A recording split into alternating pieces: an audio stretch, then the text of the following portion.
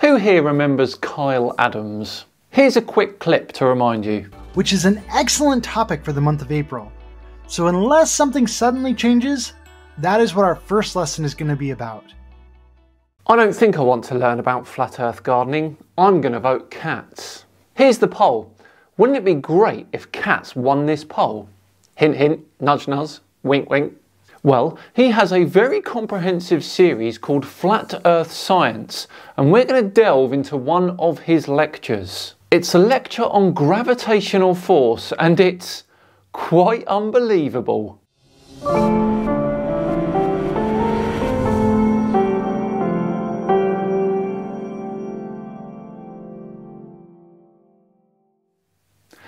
Welcome along to another episode of Flat Earth Friday with me, SciManDan. Thank you very much for joining me. Before we begin today, I just want to point you in the direction of the SciManDan Podcast YouTube channel. Last week we interviewed Gav from the Slow Mo Guys and we asked him about this famous video that the Flat Earthers so often use.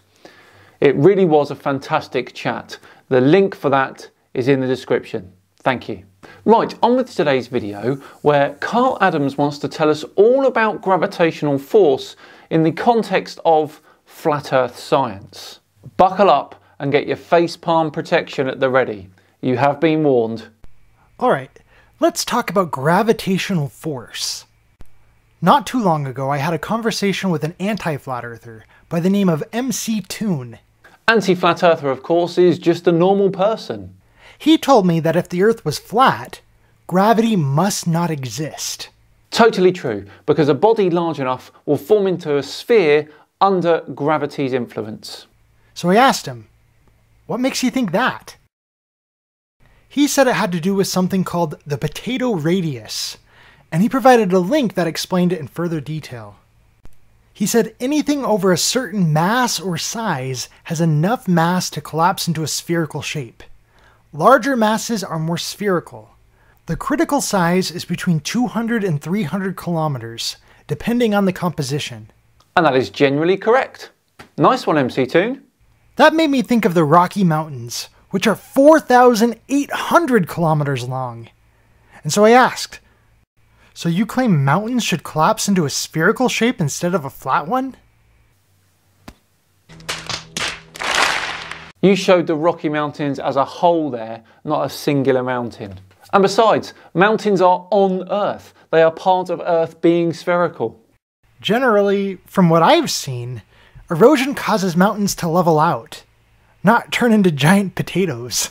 The very fact that you're using this as an argument tells me that you are genuinely clueless. His response was, Not mountains, the entire Earth. Well, so much for his 200 and 300 kilometer thing. Yes, because we're talking about actual planetary bodies here that don't have anything else interfering with them, gravitationally speaking. Mountains on the surface of the Earth kind of have the Earth interfering with them. I wanted to hear him out though. So I asked, if it all collapses, what is the determining factor that determines the central collapse point, and what makes you think that factor exists on the flat Earth model? To that, he did not have an answer for me. And that is where his straw man argument was exposed. Well, not really, because things don't collapse into a sphere from a flat disk. Planetary bodies and satellites coalesce over time, constantly adding new material from what we call an accretion disk when a new solar system is formed. At first, there's loads of what we call planetesimals flying around, or mini planets, and they go on to form the larger planetary bodies. As a body becomes larger and more massive, it becomes more spherical. Simple as that. The moons of Mars, Phobos and Deimos, are an excellent example of bodies which aren't quite big enough to become spherical. He was inventing his own model and saying, see, it doesn't work. Not too long after that, I went and took the same questions to another anti flat earther that I know by the name of Mr. Sensible. And thankfully, he was quite a bit more sensible with me. When I asked him where is the middle center of gravity on the flat Earth, he said, Well, depends on the model, I guess. Say a disk with an ice wall, then the center would be the North Pole, then halfway through the thickness. This is technically true, but under gravity as we know it, the Earth would never be in that sort of model. So. That left me to ask that depends on whether or not the Earth stops at the ice wall, doesn't it? Also, isn't density a factor on where the center of gravity is? If I had a weight attached to one end of a ruler, I couldn't say that the center of gravity on that ruler is still in the center of that ruler. And that is where he refocused things and said, The point is, wherever the center is, gravity would be pulling things toward it, and everything would collapse into a sphere. And that is where his straw man came out. According to his model, there was no way his flat Earth could have a balanced center of gravity.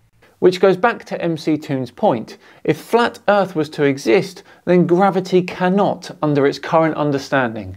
Now, something that really stood out to me about both of their descriptions of gravity was how they both described it as a force that pulls on things.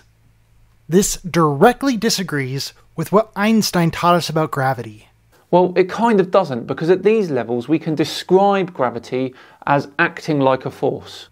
According to Einstein, one of the happiest moments in his life was when he realized gravity and acceleration are the same thing.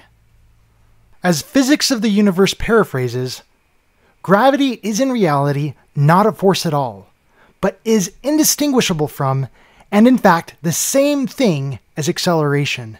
Okay, great, but we're experiencing that acceleration here on Earth. And to us, we can consider it a force at the macro scale. Newton's equations do work at this scale. Here's a little clip from Nova that talks about that. Yes, yes, yes, Carl, we do know that Newton and Einstein don't agree on what gravity is. However, that doesn't mean that the Earth isn't spherical. This is why we refer to the acceleration we feel in a car as g-force. And I see no reason why acceleration would not be able to exist on the flat Earth. But Einstein's gravity is a bend in the space-time caused by the mass of objects. The same reason that planets become spherical after a certain mass. You cannot sit there and say that acceleration can be a thing on flat Earth, because that acceleration is governed by the same rules that we apply to everything else when we talk about gravity. It won't work. The last time I checked, G force doesn't care what shape the Earth is. Although, if Einstein is right, and the Earth's gravity effect is being caused by the Earth's acceleration, that could create some problems for the globe Earth model. Oh, could it now, Kyle? This is an instance where gravity, which is acceleration, would not cause water to stick to a ball. Unless, of course, the Earth is accelerating outward in all directions, in which case the Earth would have to be perpetually exploding. At this point, I often get people who shallowly say, Yeah, well, you just don't understand. And they would be bang on there, Kyle. You don't. This is where gravity is described as a fictitious force. And yes, fictitious here directly means non existent, pretend, or imaginary. It is just like Coriolis force and centrifugal force. We can describe them, we can say what they do to other things, we can measure them, predict things with them, but these forces themselves do not exist. They are caused by something else. The rotation of the Earth, Carl. You know, the thing that you think isn't moving. All right. So this, it turns out there's no such thing as centrifugal force. It's the word we give to this thing that feels like a force operating on you if you are the water in that bucket or if you're in that amusement park where i think they call it the cyclone where you're sort of pinned against this, the wall of it and it rotates and you feel this pressure increase on you. So anyhow so this centrifugal force you will feel it as though it's a real force and so that's why we gave it a name all right and by, by, the way, Coriolis force is another fictitious force. It feels like it's a real force operating, but it's the product of other things going on. The Coriolis force turns storms into in a clockwise in, in, in a counter, counterclockwise, counterclockwise direction in the north and clockwise in the south. And I'm sure he has an explanation for all of that. Oh, and it does, he seems. Perhaps we should take a look at that next time and watch him come up with more ridiculous arguments. Well, there we go, a wonderful example of a flat earther starting an argument and then not actually finishing that argument. The fact remains that on a flat Earth, gravity as we know it cannot exist. That's all we got time for today on Flat Earth Friday. Thank you so much for watching. I do hope you enjoyed it. If you did, then please do consider subscribing. It'd be very much appreciated. And like the video as well, please. I have been SciManDan. Have yourselves a great weekend, and I'll see you all on Tuesday for the return of Hans. See you then.